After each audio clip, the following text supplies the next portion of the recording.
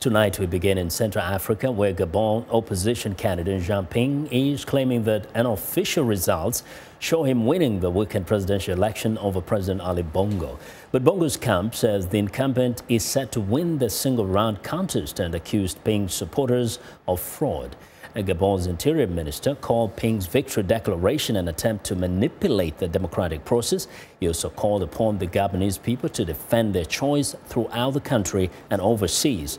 Official poll results are expected on Tuesday. Ali Bongo, 57, first now uh, won election after his father Omar died in 2009 after 42 years in office.